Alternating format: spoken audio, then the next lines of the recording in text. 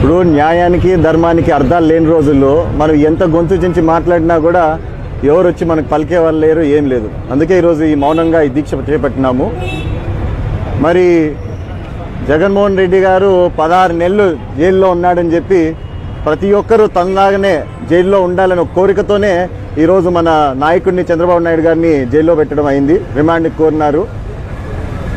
పోలీసులు కూడా ఎట్లా అంటే మన పైన బుడద జల్లి మీకే మీరు కడుక్కోండి అని చెప్పే రకంలో ఉన్నారు. అసలు మీరందరూ ఇంటానే ఉన్నారు నిన్నటి నుంచి. ఆడ కేసులో ఆయన పేరే లేదు. ఆయన అరెస్ట్ చేశారు. ఇది ఈరోజు కొత్త ఏం కాదులేండి. మమ్మల్ని అరెస్ట్ చేసినప్పుడు కూడా అంతే. నా పేరు యాడుండా? కేసులో లేదు నేను ఆ కంపెనీలో దేనిలో లేను? అయినా నన్ను తీసుకుపోయినారు. అయినా ఒక్కటి అడుగుతా మిమ్మల్ని. మేమంతా స్థిరంగా నిలబడిపోయిన వాళ్ళం ఈడ. నాకేమి నిన్న మొన్న వచ్చిన రెండు మూడు రూపాయలు మూడు రూపాయలు కాదు. తాతకాలం నుంచి ఆస్తులు వచ్చినాయి. ఇక్కడ మా భూములంతా ఈడే ఉన్నాయి. మేము ఎక్కడికయ్యా పరిగెత్తిపోయేది? కొంచెమనే న్యాయం లేదా? అర్ధరాత్రి మూడు గంటలకు వచ్చి అరెస్ట్ చేస్తారా? తెలుసుకోండి కళ్ళు తెరుచుకోండి. మీరందరూ ప్రతిదీ వాళ్ళు చెప్పిండేదే చేయాలంటే కష్టం. ఇప్పటికైనా మారండి మారుతారని అనుకుంటున్నాము. మీరు మారినా మారకపోయినా తెలుగుదేశం పార్టీ గెలవబోతోంది. వచ్చే ట్వంటీ ట్వంటీ ఫోర్ ఎలక్షన్లో ఖచ్చితంగా మా నాయకుడు మళ్ళా ముఖ్యమంత్రి కాబోతున్నాడు. రైట్ థ్యాంక్ యూ రావడం పెద్ద ఇదైపోయింది. ఇప్పుడు కూడా మా నాన్న వాళ్ళు nineteen forty three forty four forty five forty six forty సెవెన్లో మా నాన్న వాళ్ళు కూడా జైల్లో ఉన్నారు. అప్పుడు ఇదే పరిస్థితే. ఆ పరిస్థితి ఈ పరిస్థితి ఒకటే. కాకపోతే బ్రిటిష్ వాడు పరిపాలిస్తాడు మరి అదే పరిస్థితి ఇప్పుడు. లా లేదు ఇంకోటి లేదు ఇంకోటి లేదు. అప్పుడు బ్రిటిష్ వాడు ఏమనుకుంటే అదే జరుగుతుంది. అదే మేలు అప్పుడు రోజు మేలు అనిపిస్తుంది.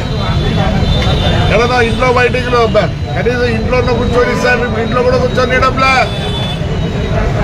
రా! పోలీస్ స్టేషన్కి రా.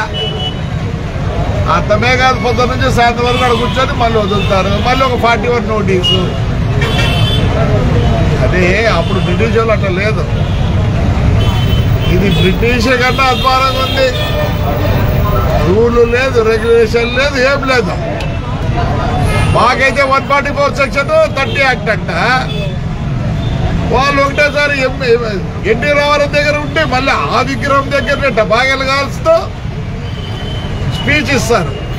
గజ దొంగలు ఆ దొంగలు ఈ దొంగలని. తెలిసిపోతుంది జనానికి తెలిసిపోతుంది. ఎలా ఉంది పరిస్థితిని ఏమైతుంది? చంద్రబాబు లోపల పోయాడు ఏమైతే రెస్ట్ ఇచ్చుకొని వస్తాడు ఏమైతే నేను పోలే. నూట ఇరవై రోజులు పోయింది ఏమైంది? ఏం- నేనేం తగ్గలేదే. హాయిగా ఉంది నిజం చెప్పాలంటే జైలుకి వచ్చిన నాకు హెల్త్ బాగుంది. అంతమంది అది ఇది అంటే ఏం బీపీ లేదు షుగర్ లేదు ఏం దిగులు లేదు. దిగులంతా చంద్రబాబు నాయుడుకు నాకు ఒకటే దిగులు. యంగర్ జనరేషన్ ఎట్లా పడుతుంది ఫ్యూచర్ జనరేషన్ ఎట్లా పడుతుంది అని. ఏడుగా ఆయన డెబ్బై నాలుగు నాకు డెబ్బై రెండు. అవసరమా? నిజం, అవసరం లేదు. ఏమైతుంది? జయలలిత జయలలిత కూడా పద్దె పంతొమ్మిది వందల ఎనభై తొమ్మిదిలో మార్చిలోనే ఎప్పుడో అసెంబ్లీలో జుట్టు పట్టుకొని లాగినారు. ఇంకా దీపం స్తంభం ఉన్నిందాడు. దీపం స్తంభం కొట్టాలనుకున్నప్పుడు అందరు సేవ్ చేసినారు. ఏమైంది? పోయింది జైలు పోయింది వచ్చింది పోయింది మళ్ళీ వచ్చింది. జుట్టు కూడా ముడేసుకోకుండా మళ్ళీ వచ్చి సీఎం అయింది. తప్పు చేయనోడు ఎప్పుడైనా ధైర్యంగా ఉంటాడు? ఇప్పుడు మేము ఉండలే ధైర్యంగా. ఏమన్నా చూడు నాయన మొత్తము. అంబేద్కర్ కాన్స్టిట్యూషన్ లేదు. అంబేద్కర్ రాజ్యాంగం లేదు. నేను అందుకే రోజు చెప్తాడు పాపం ఎందుకు ఆయన కాళ్ళ నొప్పులు? ఎండకి ఎండుతానడు వానకు నా నానుతానడు గాలికి ఇదైతానడు బగారా ఆయన ఊరికి ఏదైనా మంచి రూమ్ తీసుకొని కూర్చోబెట్టేది మేలు పాపం పెద్ద ఆయన్ని.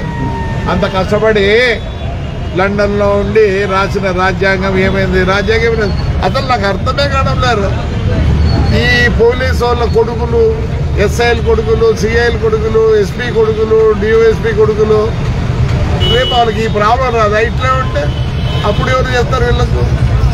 ఎవరు భయపడరు. అనుకుంటారు భయపడతారు. ఏంటి భయపడాలి? ఏమవుతుంది నేను వచ్చి కూర్చొని ఏం చేస్తారు? ఏం చేస్తారు? నేనేమో రోజు బాగానే తిరుగుతానా పబ్లిక్ లేకపోతానా ఏమీ కాదు. ఏమంటే ఆ కాలం వేరే ఈ కాలం వేరే. లాస్ట్ స్ట్రైక్ ఎప్పుడురా అంటే ఆంధ్ర తెలంగాణ డివిజన్లో లాస్ట్ స్ట్రైక్ ఈ ముందు ఎవరికి? ఇప్పుడేం చూపిరు? రేపు ఎలక్షన్లో చూపిస్తారు. They don't want waste their time హాయిగా ఒకటి మూడు వందలు సంపాదిస్తా కానీ ఇంటికి పోయి బూతులు లేడు కాబట్టి బట్ వాళ్ళందరూ ఆలోచిస్తున్నారు. నేను చెప్తా చూడండి త్రీ టు ఫైవ్ పర్సెంట్ పెరిగింది చంద్రబాబు నాయుడికి. ఏంది భయము? ఏంది భయము? ఒకటే కదా తీస్తే ప్రాణం తీస్తారు. దానికి ఏం భయపడాల్సిన పనిలే బ్రహ్మాండంగా ఉంటుంది. జగన్ కూడా జైలు పోయితే గెలిచినది లేదు గెలిచడు. నేను కూడా డెబ్బై ఐదు మందిలో నేను కూడా జైలు పోయితే గెలిచినది. Chandrababu hundred hundred hundred percent. నేను మీద సీఎం. కానీ ఒకటే రిక్వెస్ట్ చేస్తానా? కక్షపూరితం అంటారు కదా మరి మనం కూడా కక్షపూరితం బాగుంటుందేమో ఏమైతుంది? వదిలిపెడితే పోతుంది. డెఫినెట్గా. కష కష అనేది మనం కష పెట్టుకోకూడదు నేను అంటానా? ఏదో పొగుడుతోనో సైకో ఉన్నప్పుడు ఇట్లా సైకోలు ఉన్నప్పుడు జరుగుతుంటాయి. ఆయన చూసుకొని ఈయనంతా చెలరేగిపోతున్నారు ఏమే? మనం అదే చేస్తే రేపు బాగుండదేమో. నేనైతే చెప్తాను వాళ్ళు కష్టపూరితంగా చేస్తుండొచ్చు నేను ఎక్స్పెక్ట్ చేసేది ఏమంటే చంద్రబాబు నాయుడు అన్నీ మర్చిపోయి హాయిగా మంచి రూల్ ఇస్తాడు. అందరూ ఏమంటారు ఇప్పుడు? ఆయన వస్తే మంచి రూల్ ఉంటుందంటారు. కాబట్టి ఎవరు ఎవరు భయపడాల్సిన పని లేదు. కార్యకర్తలు బ్రహ్మాండంగా ఉన్నారు. నేనేమైనా చెప్తే అందరికి బాధ. ఒక్క నాయకుడు బయటికి రావడంలే. ఏమైతుంది జైలు పోతాం. ఇప్పుడు చంద్రబాబు నాయుడు జైలు పోయినాడు. ఏమే? ఏ క్లాస్ ఇస్తారు బాగానే? నాకైతే ఏ క్లాస్ కూడా ఇయ్యలే. సజ్జల రామకి ఆయన రామకృష్ణ రెడ్డి గారు వాడికి ఏమి ఇవ్వద్దు అంటారు. ఏమైంది? బాగానే ఉన్నా. బాగా బ్రహ్మాండంగా ఉన్నా. ఏమే? ఎదురుపడాల్సిన పరిస్థితి అయితే లేదు. డెఫినెట్గా హండ్రెడ్కి హండ్రెడ్ పర్సెంట్. చంద్రబాబు సీఎం అవుతున్నాడు రెండు వేల ఇరవై నాలుగులో. ప్రజలు ఇక్కడ దాచిపెట్టుకుంటున్నారు చంద్రబాబు నాయుడిని. ఆ రోజు ఓటు రూపంగా ఖచ్చితంగా గెలిపిస్తారు. It's got be CM next CM ఇది చంద్రబాబు నాయుడు? దాని గురించి ఏం ఆలోచించండి ప్రజలు అప్పుడు మాదిరి లేదు. అప్పుడు అంటే స్ట్రైకులు గీకులు గట్లా పాల్గొంటాడు ఈ ముందు ఆ ముందు కూడా ఉంటాడు ఒక ఇంట్లో ఒకరు ఇద్దరు వచ్చినా కూడా దొరుకుతాడు. ముందు కూడా క్వశ్చన్ ఏం లేదు. Wife and husband are working children are working so ఇవన్నీ ఉన్నాయి కూడా అంతే బయటికి రావడం లేదు. కానీ తొందర ఏం లేదు. బ్రహ్మాండం బ్రహ్మాండంగా ఉంది. చంద్రబాబు నాయుడు గారికి నన్ను అడిగితే సార్ గాయగారు రిజిస్టర్ చేసుకో.